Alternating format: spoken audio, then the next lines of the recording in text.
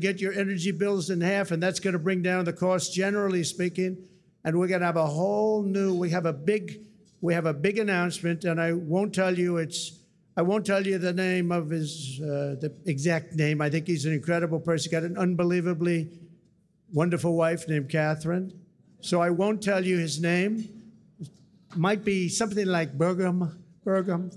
He's from North Dakota. He's going to be announced tomorrow for a very big position. So everybody's waiting. There he is. Hi, Doug. He's going to be announced tomorrow, and we have somebody else that's probably coming up with him to be announced who's a big one. And we're going to do things with energy and with land, interior, that is going to be incredible. And so I look forward to doing the formal announcement, although this is a pretty big announcement right now. Actually, he's going to head the Department of Interior, and he's going to be fantastic. All right? Good, Doug. Congratulations, Kathryn.